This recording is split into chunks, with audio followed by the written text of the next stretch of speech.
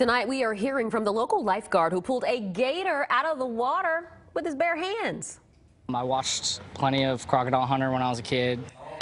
That's a pretty that's a pretty good uh, source for Crikey. information about how to Yeah, grab a gator, I guess. absolutely. Well, Action News Jax first told you about the gator being pulled out of the water at Jax Beach on Saturday. That was a busy day at the beach with a lot of swimmers. New at 5, Action News Jax Amber Krycka spoke to that lifeguard who says he was a little scared.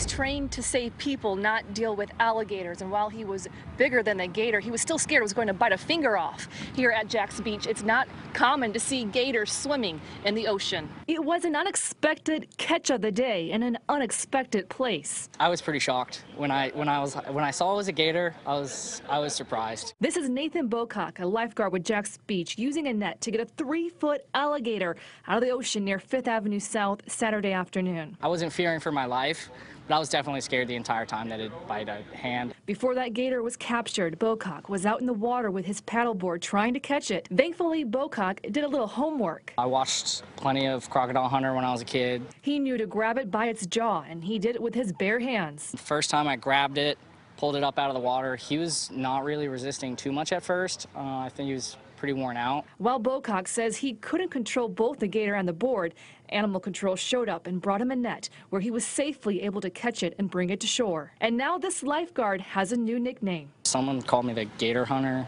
Just to show you how rare it is to see these gators out here in the ocean, lifeguards say they've caught three in the last 10 years.